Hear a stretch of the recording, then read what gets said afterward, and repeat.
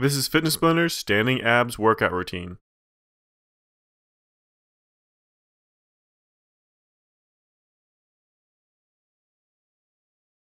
For this workout routine, we're going to be going through 10 different exercises for 45 seconds each. You're going to need some kind of weighted object such as a medicine ball or a dumbbell for this routine, but a can of beans or a bottle of water works just as well. Let's go ahead and get started with the first exercise. We're going to be doing the standing pike crunch first. Go ahead and get ready. And begin. You're going to raise that leg straight out in front of you, keeping it as straight as you possibly can. Reaching down towards those toes with those hands, trying to get down and touch that foot or even past that foot if you can. So you really want to try to work that range of motion, rounding those shoulders forward as you stretch down towards that foot, getting a nice tight squeeze on those abdominal muscles at the same time as using that hip flexor to raise that leg up as high as you can. Just keep that motion going nice and slow under control. Make sure you're not swinging your leg. You want a nice, slow, controlled motion coming up as you stretch down towards that foot. Nice, slow, controlled motion as you drop that leg back down to the ground. Almost done. It's your last one. And let it relax. And go ahead and switch sides. Get ready.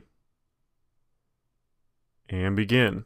So same exact motion, bring that leg up nice and straight, stretching down towards those toes as far as you can, rounding those shoulders over forward, getting a nice tight squeeze with those abdominal muscles as well as that hip flexor, pulling that leg up. Really trying to stretch down to that toe or even past if you can. Remember, always keeping a nice, slow, controlled motion as you raise that leg. Nice, slow, controlled motion as you drop that leg back down.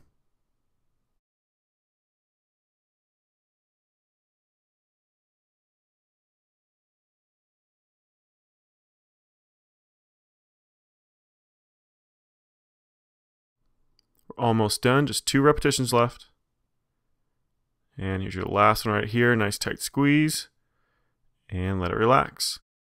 All right, next we're going to be doing the Captain Morgan diagonal pass. You're going to use a medicine ball or a dumbbell for these or any other weighted object. Go ahead and get ready. And begin. Go ahead and bring that left knee up really nice and high and hold it there as you pass that medicine ball or dumbbell from over top of that right shoulder to down the outside of your left hip. Nice, slow, controlled motions. You're keeping it relatively close to your body as you come through. So nice and high over top of that right shoulder. Keep it right across the front of your chest as you drop to the outside of your left hip.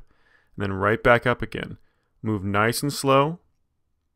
The slower you go, the easier it's going to be for that balance. And also, you want to focus on trying to rotate those shoulders. So as that ball comes up over top of that right shoulder, kind of rotate those shoulders to the right then as it comes down to the outside of that left hip, rotate those shoulders to the left. We're almost done.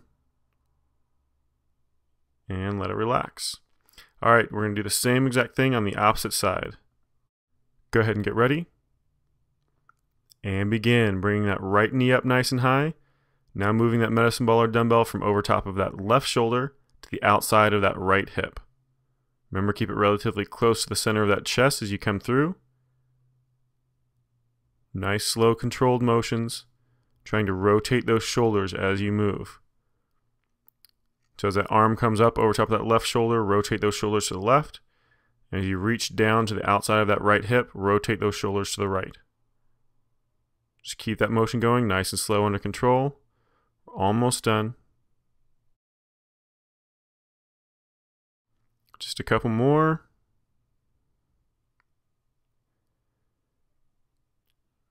And let it relax. All right, next one is our jumping oblique twist.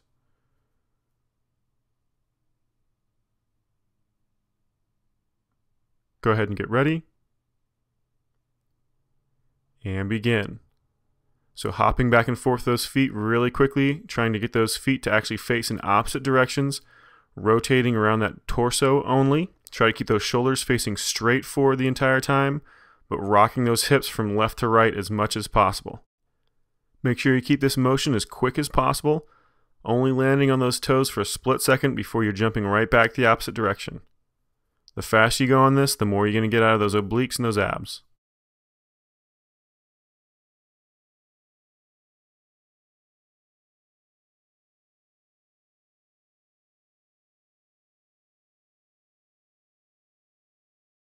Almost done, just about four seconds left.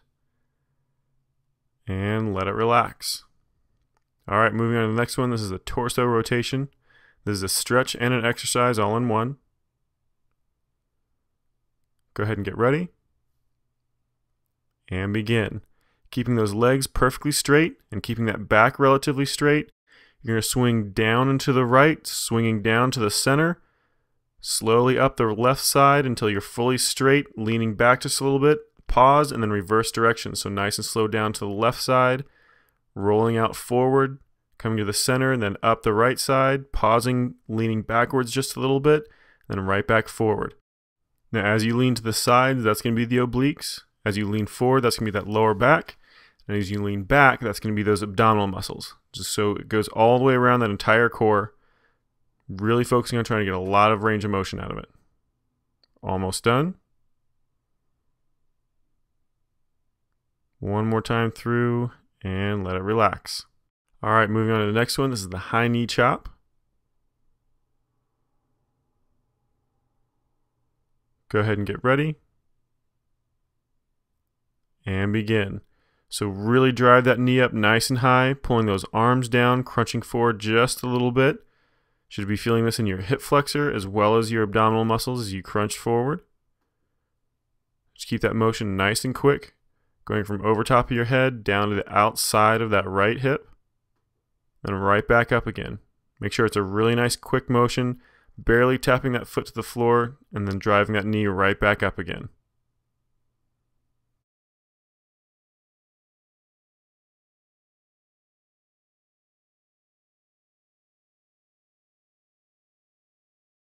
Almost done, about five seconds. And let it relax. All right, moving to the next one, we're gonna do the same thing on the opposite side. Go ahead and get ready. And begin. So same motion, this time drawing that left knee up really nice and high. Bring those hands down to the outside of that left hip. So remember again, this is a really nice quick motion. Stepping that foot back behind you, touching just barely, and then driving that knee right back up again. Just keep that motion going under control, nice and quick.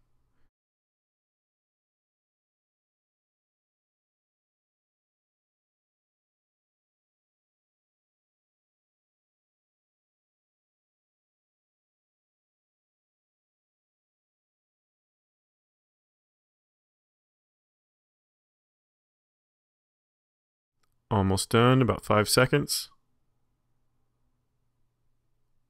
And let it relax. All right, moving on to the last one. This is the waist pinchers.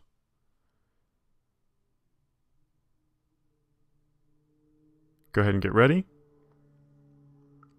And begin.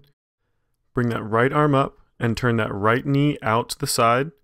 And then slowly draw your knee up really nice and high at the same time as crunching that shoulder and elbow down towards that thigh.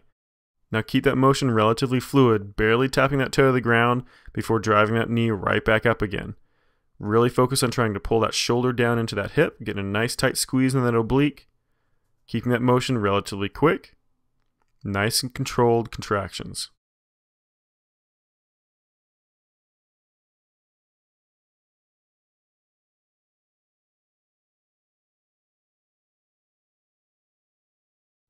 Almost done, just a couple more repetitions. Your last one, nice tight squeeze, and let it relax. All right, we're gonna switch sides, do the same thing on the other side. Go ahead and get ready. And begin. This time pulling that left knee up really nice and high, pulling that left elbow down, crunching that left shoulder down into that hip. Try to keep that motion through your torso straight sideways as much as you can. Try to lean that shoulder forward, trying to crunch forward with those abs. You just want to use those obliques tipping sideways only. Remember, keep that knee out to the side as best you can. Try to let it come straight up in front of you. You want to be kicking it straight out to the side. Same thing with that elbow. You don't want it in front of your chest. You want it out to the side of your chest. Almost done. Just a couple more repetitions. And there's your last one right there. And let it relax. Good job. You just completed this 10 minute standing ab workout routine.